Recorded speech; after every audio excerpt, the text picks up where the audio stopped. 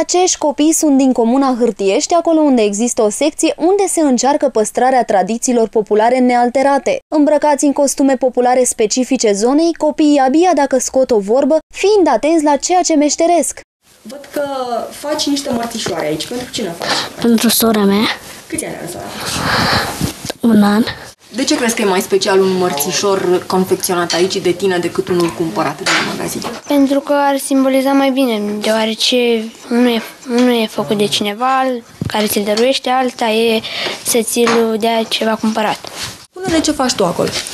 Uh, păi uh, am luat un trifoi cu patru foi, care este un șab- șablon ce simbolizează norocul uh, și pur și simplu l- l-am pus pe, lucra, pe lemn și îl conturez pentru că după o să meargă la, pi- uh, la traforat și după la pirografat.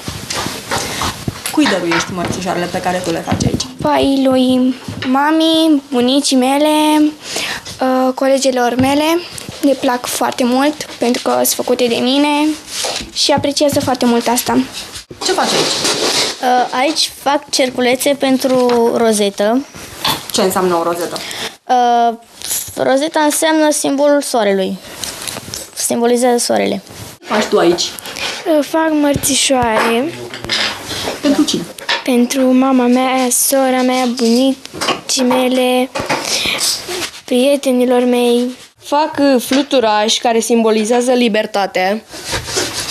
Fluturaș.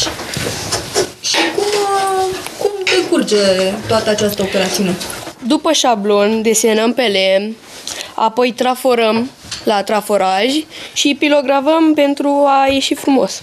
Unii dintre ei vor să facă din asta o meserie pentru viitor și dascălii îi îndrumă spre acest lucru, fiind convinși că odată și odată tot se va reveni la tradiții. Ne aflăm în cadrul secției de sculptură din Comuna Hârtiești, județul Argeș, o secție externă a Școlii de Arte și Meserii Pitești, aici unde se încearcă păstrarea tradiției uh, populare. Pentru asta am încercat să învățăm copiii să confecționeze mărțișoare pe care le vor um, da și vor bucura mămicile, învățătoarele, colegii, colegele.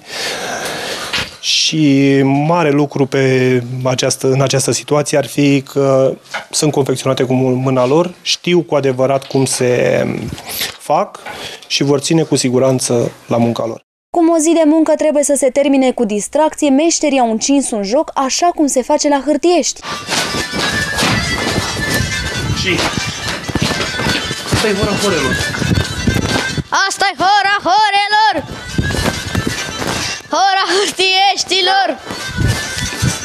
Ușurel bate tare! Să se audă în depărtare!